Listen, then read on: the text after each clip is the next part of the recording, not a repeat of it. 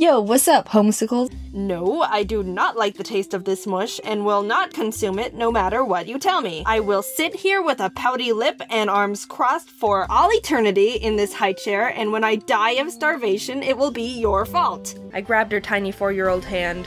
We looked at each other, I nodded, and her eyes lit up with determination. We danced in sync for the rest of the show, hitting every step perfectly, and got a standing ovation from all the parents as we were showered by flowers. Just kidding, I started pushing her as I was dancing because she was in my way. Every day is a Jaiden New Year.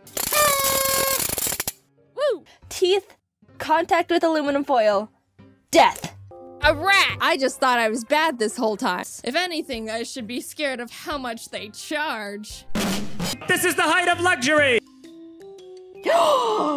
Mom, Blaziken plush! Oh my frig! Don't say frig. Holy mother, I am the chosen one. This is a sign from the heavens. Great God, Apollo has destined me to play this flute. Get wrecked, mates! I ate so many green beans in such a short amount of time that night. I won, obviously, because everyone else was a scrub. And I was like, this is a good idea. Foreshadowing, it very wasn't.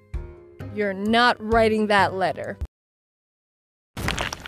Oh no, that door is not locked. I watched that woman just waltz right through. Let me in right now or I swear to- Go to the hospital? You think so?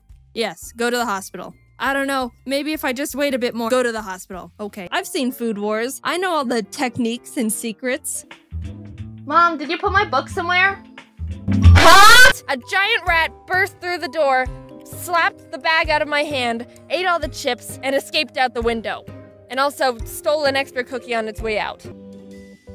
Hun, just eat the friggin' carrots. Friggin', I'm choking on a carrot here. What are you looking at? Do something, you buffoon! Ah! After another quick flight of 11 sleepless hours, I landed safely and was ready to go home and die. Okay, well, I'll talk to you later, Wendy. We're gonna waltz on over to the hospital now. Hey there. I have a girlfriend. Oh my god, same. We have so much in common. She probably thought I was like just a flustered lesbian or something. Like the rainbow fish was like a snobby model, and then everyone's like, oh, paparazzi. so I DM'd him asking if he had any Kaizo recommendations that are, you know, beginner friendly. Arr, draw me!